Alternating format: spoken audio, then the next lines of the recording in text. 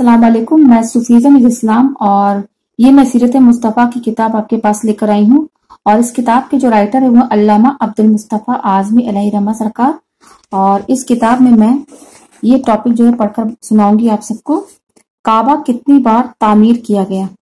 औज शैतान रजीम बिस्मिल्लाहिर्रहमानिर्रहीम हज़रत अल्लामा जलालुद्दीन सयूती रहमतुल्लाह सरकार ने तारीख मक्का में तहरीर फरमाया है कि खाने काबा दस बार तामीर किया गया।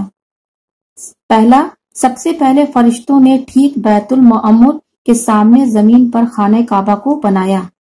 फिर हज़रत आदम सलाम सरकार ने इसकी तामीर फरमाई। इसके बाद हज़रत आदम सलाम के फर्जंदों ने इस इमारत को बनाया। इसके बाद हज़रत इब्राहिम खलील्ला और उनके फर्जंदे अर्जुमन इस्माइल ने इस मुकद्दस घर को तामीर किया, जिसका तस्करा कुरान में है। कौम अमालका की इमारत।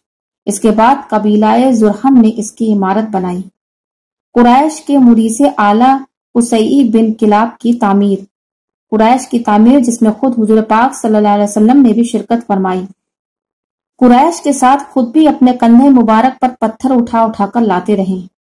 हज़रत अब्दुल्ला बिन जुबैर रज़ी सरकार ने अपने दौरे खिलाफत में हजर पाक वसल्लम के बनाए हुए नक्शे के मुताबिक तामीर किया, यानी हतीम की ज़मीन को काबा में दाखिल कर दिया और दरवाज़ा सतह ज़मीन के बराबर नीचे रखा।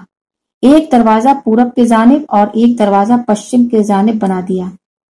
अब्दुल मलिक बिन मरवान उमोई के जालिम गवर्नर हजाज बिन यूसुफ सफकी ने हज़रत अब्दुल्ला बिन जुबैर को शहीद कर दिया और उनके बनाए हुए काबा को ढा दिया।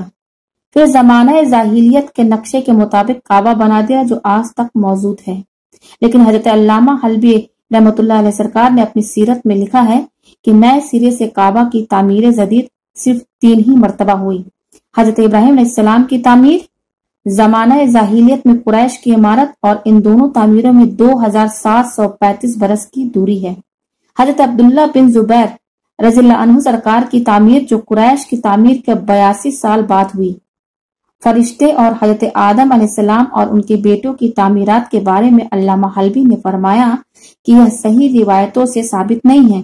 बाकी तामीरों के बारे में उन्होंने लिखा है कि यह इमारत में मामूली तरमीम या टूट फूट की मरम्मत थी। नई तामीर नहीं थी। वल्लाह ताला आलम।